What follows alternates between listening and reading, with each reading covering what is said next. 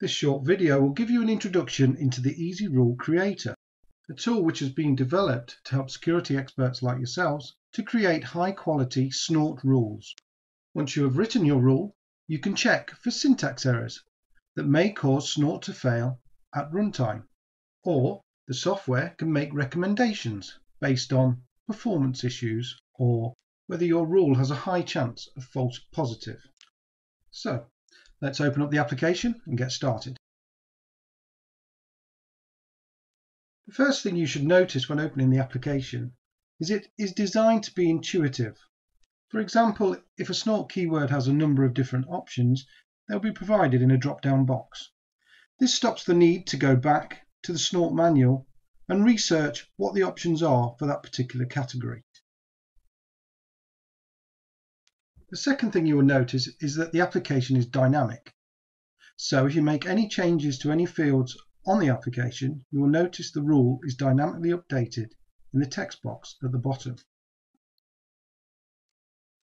Thirdly, the application aims to be both intuitive and dynamic by hiding or disabling certain options that do not work together within Snort. So for example, making changes to the protocol option will only make available the keywords that you can use in Snort under that protocol.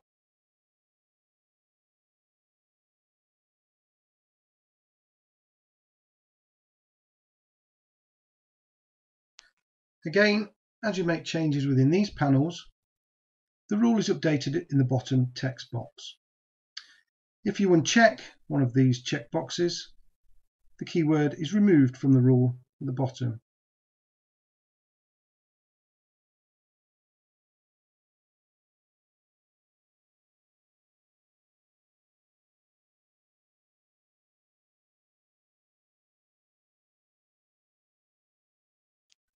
Anywhere on the panels you see a delete button, again you can press this and it will be deleted from the bottom text box.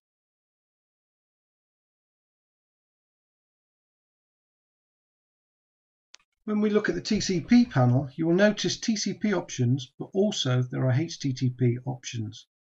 This is to protect you from using HTTP keywords when using protocols such as UDP or ICMP.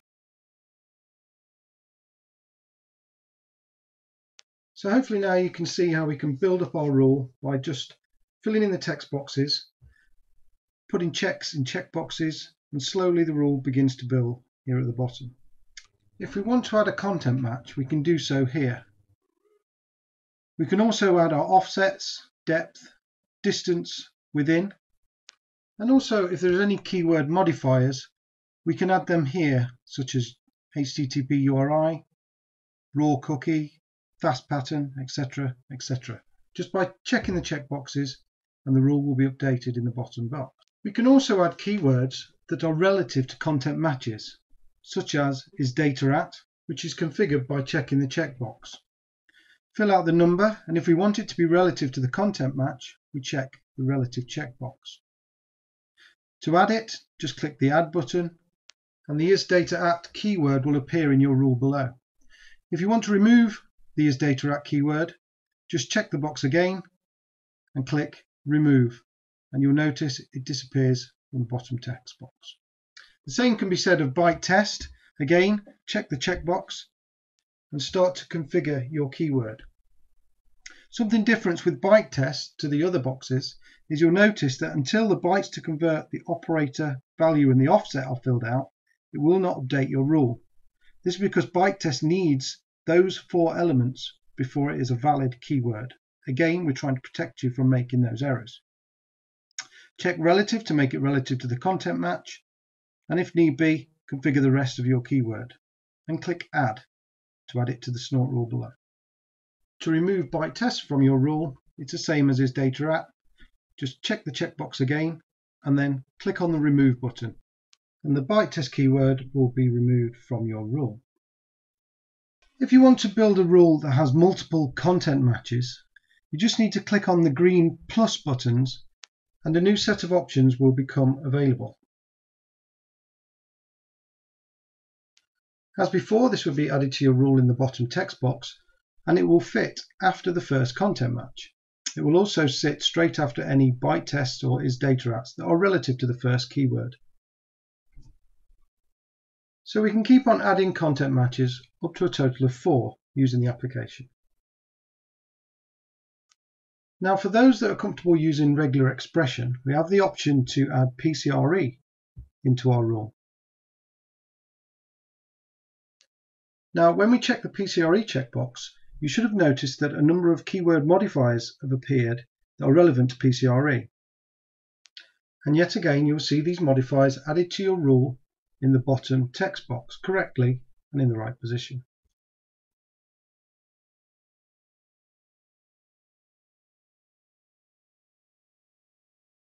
If you're confident with your regular expression, then go ahead and save your rule. However, it makes sense to test your regular expression before saving. To do this, we can press the test button to open up the regex tester. This is a great way to test if your PCRE is behaving as you wish it to behave. The regular expression that you typed into your content match is automatically loaded into the top text box. In the center text box, you can add text that you wish to check your PCRE against. And in the bottom text box will be all the matches that are found and the index at which they were found within your test text. So the regex tester was designed such that it would act the same way that the snort engine would act on your PCRE rule. So if you had case sensitive matching or dot .all or um, any of the keyword modifiers like the X or the M, you could check the checkboxes here in the regex tester and then you would see if your PCRE match acted as you thought that it would act on the string of text in the middle box. You can also turn on normalization um, again, this is trying to mimic the Snort engine. So if you're using the HTTP preprocessor on your Snort process, you need to turn on your normalize HTTP here. So it will do a check on the text in the same way that Snort would do it, and that is run it through a preprocessor first and remove all those nasty um, percent encoded, for example. To show you how this all works, what I've done, I've taken a packet capture of a cross-site script um, uh, being carried out. And I've saved that to a text file. And what I can do with the regex tester is import these text files into the middle text box so I can run my PCRE match against that text. I've done it first as a simple cross-site script attack, um, and then what I've done, I've percent encoded the attack, and then I've double percent encoded the attack. So I've got three files which I can load up. And we can see how our PCRE will act when the normalized process is turned off and turned on, and the double decode is turned off and turned on. So I'll import the first file.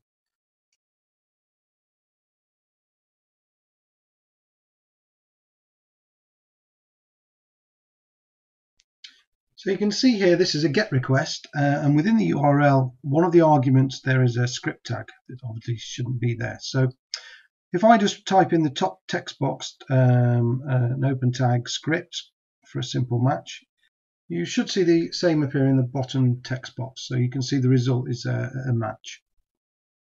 So if I now open uh, another file, this is the exactly same URL, but this time there's percent encoded included in that URL. So now we have no result in the bottom text box, so we haven't got a match. If we now check on the normalize HTTP checkbox, you will see that the normalization process takes place in the background, and we do have a match. So it's exactly the same as it would um, detect within Snort, but using the regex tester. So if we go through the same process again, but this time we use a file that is double encoded, we can check the double decode checkbox and a match should appear in the bottom text box. So this shows the importance of having double decode turned on in your HTTP preprocessor in Snort. Making sure you're catching cross-site scripts even if they have been double encoded to um, evade your IPS. Once you're happy with your PCRE and you've done all the testing you wish to do with the regex tester, you click on the Save button and it will save your PCRE back to your content match on your home screen. Click OK and then you can close down the regex tester and go back to your main screen.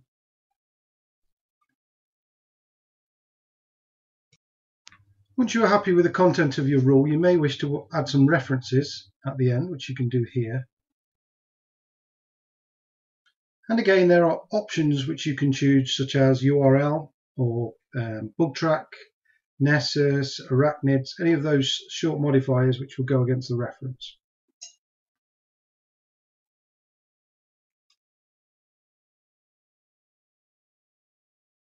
So there you have it, you've built yourself a rule. Now, the next stage in the typical Snort rule writing process would be to load up your rule into Snort and to see if it loads and see if it works. Now, obviously, with the main aim of this application is to help you to speed up the process of creating good quality, high quality rules. So included within the application is a check function. And what this is going to do is do some um, regular check-in for syntax errors, um, silly mistakes that you might make um, by accident, such as uh, including double spaces. Or let's say, for example, you have a, a cross-site script attack on a server that was written in the wrong direction, so it was from the server. We check, and you can see that it picks up that it's the wrong way round for that modifier.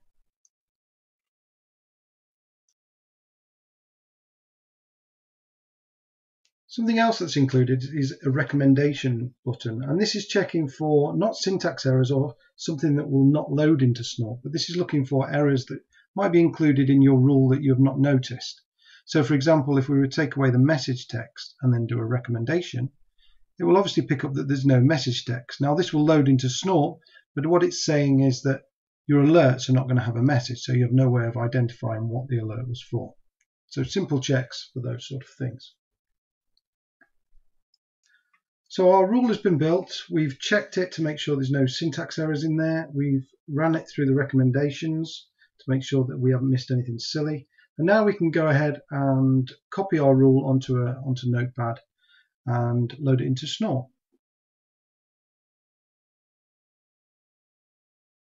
Now, when it comes to working with long, complex rules, some of you may like to work with your rule written over multiple lines by just adding the uh, escape backslash. This will still load into Snort, but it does make reading the rule a lot easier. So we've included the checkbox at the bottom. And what this does is add the backslash and the new line to your rule, which makes things a lot easier to read. So you can again copy that and paste that into your notepad uh, and load that into Snort without a problem.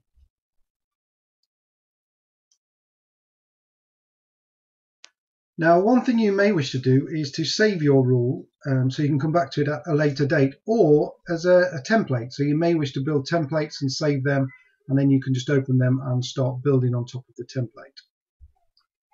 So if you go up to the file menu in the top left hand corner, you can save your rule.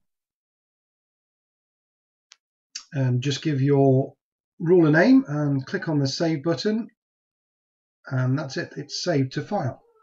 So now you can reset your form if you wish, so clear all the fields. And you can carry on either write a completely new rule from fresh, or you can open up the old template that you'd saved before and start to build upon that template or upon that rule. And that's it. That pretty much concludes this um, introduction to the Easy Rule Creator Snort from iDAppCom. I hope you enjoyed watching the video and I do hope that you enjoy using the tool and writing some really complex and interesting rules. We have been iDAppCom.